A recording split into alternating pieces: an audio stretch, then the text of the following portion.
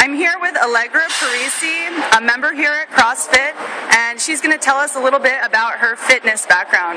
Allegra, tell us a little bit about the competitions you've been in and your training up till now. I grew up as a competitive swimmer um, since I was around six years old. I was practicing twice a day, every day, for many years. I then transitioned into um, middle distance and long distance triathlons, training between four and five hours a day on the bike.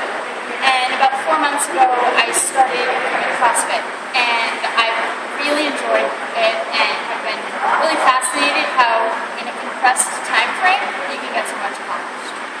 What is the difference in your life now that you do this, you practice at CrossFit, as opposed to training for those endurance races? I think there's a couple things. First of all, it fosters a really good team environment while still maintaining a sense of like individual competitiveness. Um, together in pairs, but then you're working against each other as well. Uh, also, you're in and out in 45 minutes. You get stretched, warm up, and the entire workout. Uh, so people no longer have the excuse that they're too busy.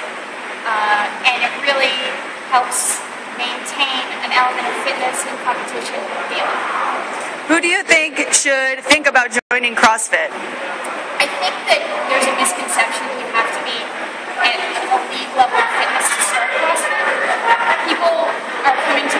all walks of life, and that works and makes it interesting.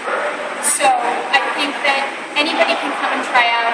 There's no reason to be intimidated, uh, and it really focuses on personal growth versus coming and trying to fit into a mold.